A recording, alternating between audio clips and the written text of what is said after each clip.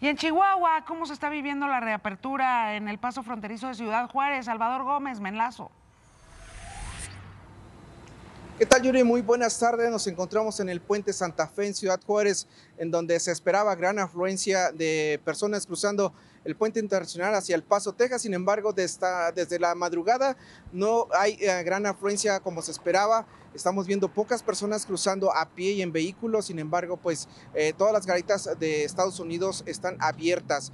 Estamos esperando a que... Eh, llega el fin de semana en donde se cree que la mayor parte de los habitantes de Ciudad Juárez crucen, ya que el día de hoy que arrancó el inicio, reapertura de la frontera, pues es día laboral. Muchas personas no están cruzando.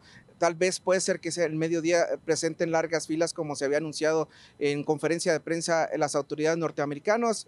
norteamericanas.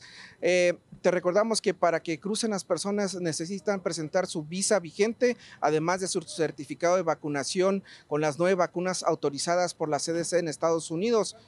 Como dato importante también, Yuri, estamos viendo que en la frontera de una semana al día de hoy el dólar subió un peso. Estamos eh, viendo que la cotización está en 20.40 para la venta y 19.40 en la compra, situación que muestra que el dólar está circulando bastante en la frontera, por lo que el fin de semana muchas personas cruzarán de compras hacia los Estados Unidos. Regresamos contigo, muy buenas tardes. Gracias, Salvador.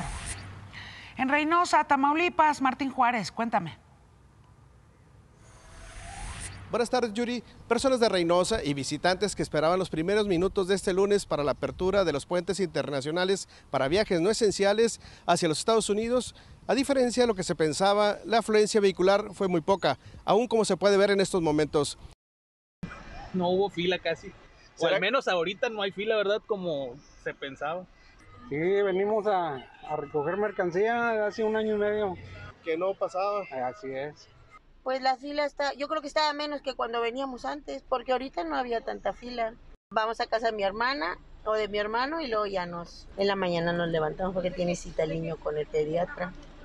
Yuri, es para este fin de semana que se espera un repunte en el viaje hacia los Estados Unidos. El congresista Henry Cuellar dijo que esta reapertura trae gran beneficio a residentes de ambas fronteras, uno es el incremento de las ventas en el Valle de Texas y la otra es que se van a reencontrar familias que tenían más de un año, ocho meses sin poder verse físicamente.